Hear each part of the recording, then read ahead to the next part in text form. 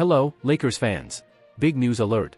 Before we dive into this bombshell Lakers update, if you love purple and gold, hit the like button, hit subscribe, and hit that notification bell to stay up to date with our exclusive daily Lakers coverage.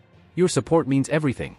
Now, when it comes to our Lakers, we're talking bold moves, game changers, and breaking traditions.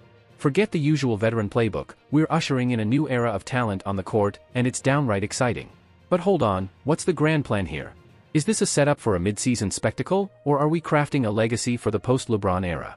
I say it's a bit of both, and it's got me on the edge of my seat. Okay, Lakers faithful, get this, we're in talks with the Knicks, and we've thrown a proposal on the table that's nothing short of groundbreaking. Taurean Prince and a 2029 first-round pick could be on their way out, and in return, we're eyeing a rising star. Now, not every young gun is cut from the same cloth, but this one, oh, he's something special. Drumroll, please. The man of the hour is none other than Immanuel Quickley. Picture this, a sharpshooter, a three-point maestro, the guy we need to open up the floor alongside LeBron James and Anthony Davis. This isn't just about talent, it's about injecting youth, energy, and that clutch factor we've been craving. Is he worth it?